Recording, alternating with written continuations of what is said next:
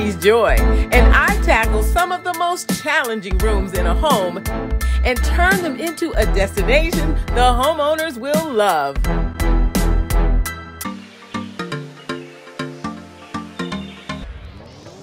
In one weekend, using paint, repurposed furniture, a few budget friendly new and secondhand purchases, along with some good old DIY sweat equity from the homeowner, I sprinkle my magic pixie dust, creating beautifully curated spaces. Trust me, it's not just a room makeover, it transforms your life. In every episode, I give you a backstage pass to see it all the prep, the process, and the dramatic before and after reveal. In episode three, I transform a crowded, cluttered storage basement into a modern, chic haven to support a college student forced to do college from home due to COVID. How did I go from this to this? Let me show you how. Here in episode three, a few of my design challenges were to create five distinct zones in a fairly small basement space, reuse furniture the homeowner already had, and artwork the homeowner's daughter had already purchased. And lastly, to design the space as a surprise for the homeowner's daughter. Can somebody say pressure? This redesign was inspired when my homeowner saw episode one of DIY Duo Redesign and she loved the digital recording lounge that I created. She reached out to me and said, Denise, I need your magic pixie dust. This basement presented quite a challenge. It has an awkward layout and the space isn't being used well at all. Maybe you have a similar issue in your home. The tips I'm going to show you in this video are going to give you a ton of ideas. The main goals the homeowner wants me to achieve improve the overall vibe in the room, softer, cozier floor covering, warm up the walls, improve the task lighting, make this a space that her college age daughter won't want to leave. That's a pretty big list. Trust me, when I finish, it'll be hard to believe we are in the same home.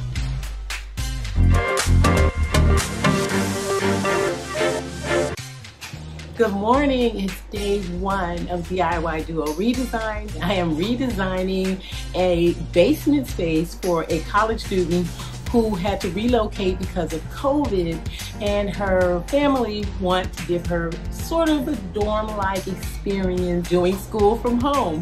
And that's exactly what I'm going to deliver. Hi Denise, it's Lawanda. I am impressed and beyond grateful for your vision and your generosity of spirit in the design that you created and made happen in the space. Of course, the homeowner has to do their DIY, and in this case, it was cleaning and clearing out the space. This was a two day project, and I had three custom projects to complete. One, modernize the client's childhood dresser with paint. Two, paint two accent walls. And three, stencil one wall. The homeowner's daughter has owned this dresser for 20 years. Yes, ma'am, it's time for a revamp. Reviving furniture with paint is an excellent way to get that custom on a budget look without breaking the bank. With just a little bit of sanding and two coats of paint, this dresser has the modern, fresh look the client is going to love.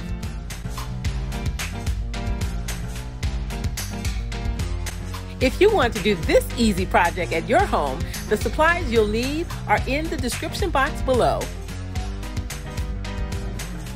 For project two, I'm painting two accent walls. The first one in the bedroom zone. The homeowner's daughter wanted to really warm up the walls with some color. To accomplish this goal, I used a vibrant but muted tone of orange called Raucous Orange by Behr. You can pick it up at Home Depot.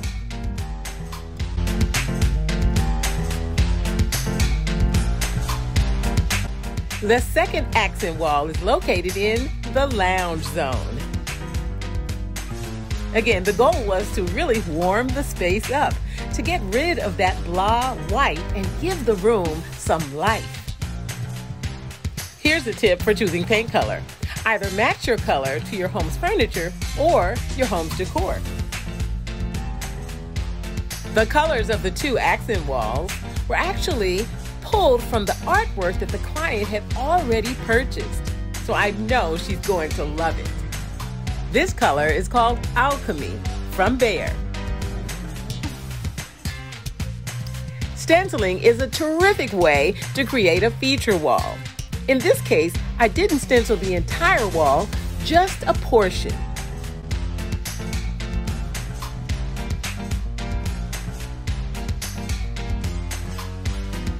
If you've been excited about trying stenciling out, this is a great tip for you. You don't have to stencil the entire wall to get a lot of bang for your effort.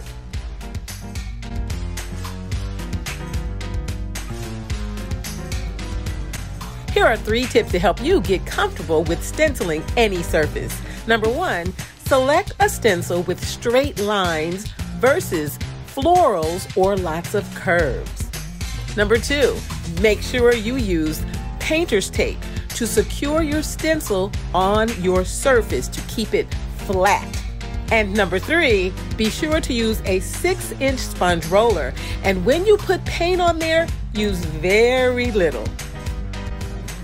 I also completed two custom projects in advance of the installation. I transformed a vintage dresser into a TV stand with paint and stenciling, and I also custom designed and hand painted a footstool poof. Be sure to cover your floors whenever you're painting. There's tons of things you can use old sheets, drop cloths, tarps, or even plastic covering. Whatever you do, be sure to cover your floors. You don't want to create a ton of cleanup unnecessarily. Now it's time to check off one of our design goals. Comfortable, soft floor covering that really ups that cozy factor. One for the lounge zone and the other for the workout zone. This new floor lamp will bring much needed task lighting to the room and greatly improve the ambiance in the space. Let me tell y'all, day one was a beast. Next up is day two, where the real fun begins. Curating the space to make it feel like a home that's lived in and a destination she'll love.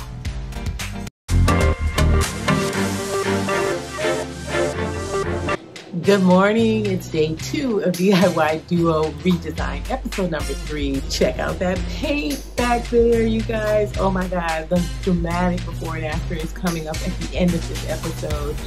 My charge was to create five zones in this basement environment, and if I must say so, I have impressed myself. It's definitely nice to have a laundry area but the homeowner wanted this area to be masked and for it to blend in with the rest of the aesthetic of the space. So my solution?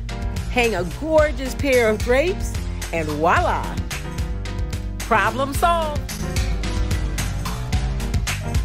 I, of course, love to shop someone's home. Repurposing items the homeowner already has is a great way to keep things custom on a budget. Adding a pair of curtains is a terrific way to really refresh and upgrade the feel of a room. I picked up this pair of curtains at the secondhand store. They were a little long, so I pulled out my sewing machine, hemmed them, then steamed them, and now this room has a whole new look. The bedroom zone was a very important zone. The client wanted to get a better night's sleep. To support her, I'm filling the room with calming and serene colors and energy. Most of my clients have never worked with a designer before, but when they're ready to relinquish control, they call me.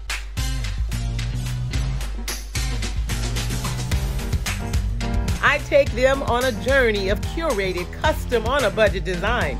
And when I see my clients' reaction, the look on their faces lets me know it was worth every minute.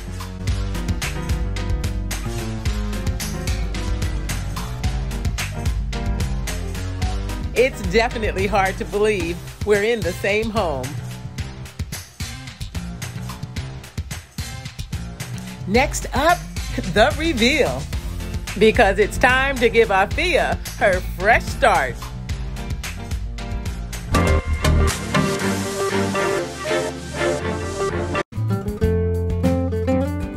Daughter lost her senior year of college uh, due to the pandemic. I wanted her to have something embracing and something that showed her how much I love her. And you you created that for us. Wow. oh my god. This is a whole different place. And you painted. I love this color. When I started, the basement lacked functionality and personality. Now that I've added space planning, there are five distinct zones. I've added loads of color, and the basement is now warm and cozy. This is perfect. This is warm. I love like oranges and yellows, and this just feels like all warm and light because it was all white walls and it felt sort of sterile. But I didn't know what to do that. So your vision is incredible.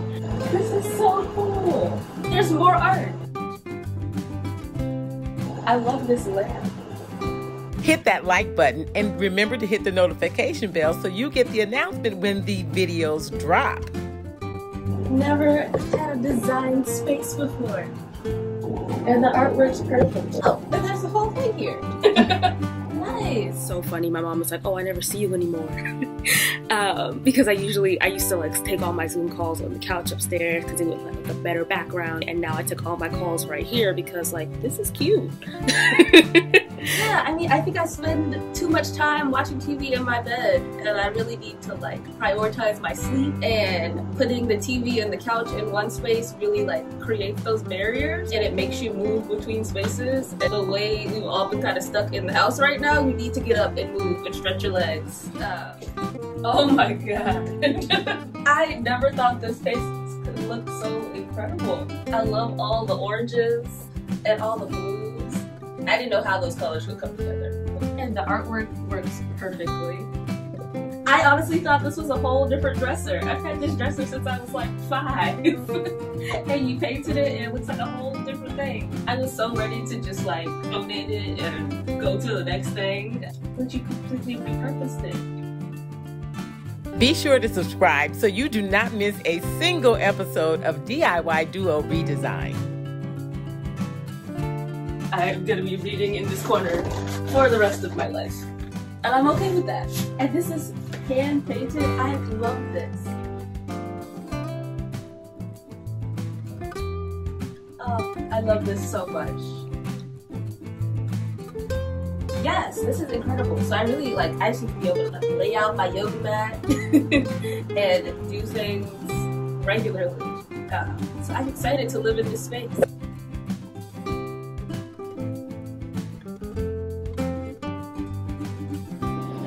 I'm moving down here. this is awesome. It's also perfect. It was funny. Last night, Yao was like, I think we're gonna like it. And Yao like gives no commentary on anything. Do you feel that? I do. That was the goal. that was this is my birthday, Christmas, Kwanzaa, everything. Now Afia has a fresh start, a cozy space with new modern lines. Look at this room. I was not ready for this.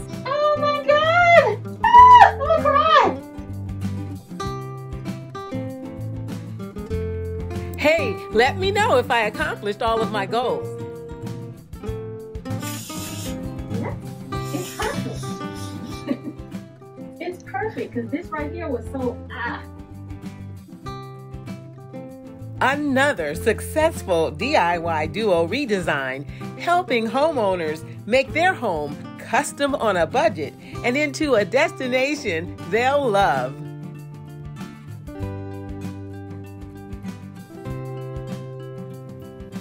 Everyone. Um, I'm Afia, and I'm just gonna talk for a quick second about how incredible this space has been for me. This whole project was a surprise for me. I knew it was gonna happen, but I didn't know what it was gonna look like. I wasn't in any of the meetings.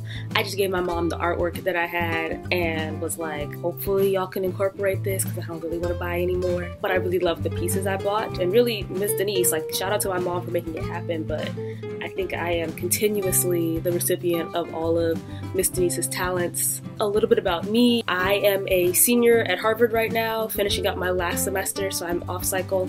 I decided to try and finish in three and a half years instead of four. So this is actually finals week for me. And so while this space kind of came into fruition a few weeks before finishing, this was kind of a great transition out of my undergraduate experience into what's going to be next. We all got sent home because of COVID 19, so I wasn't on campus. I didn't feel that last little bit. Now we're really trying to figure out what life is going to be like next, and it's great to just be in a space that feels warm and inviting and that you really want to be in. Funny, my mom was like, "Oh, I never see you anymore," um, because I usually I used to like take all my Zoom calls on the couch upstairs. Now I took all my calls right here because like this is cute, and I love seeing all the little bits of me that I envisioned for myself and the bits of me that I didn't envision for myself. That the people around me, that my mom and Miss Denise, who is a former teacher of mine, all that creativity just flows out in this space, and I am so, so grateful. Lastly, leave me a comment. Let me know what kinds of rooms you'd like to see me transform, and I'll make sure to deliver.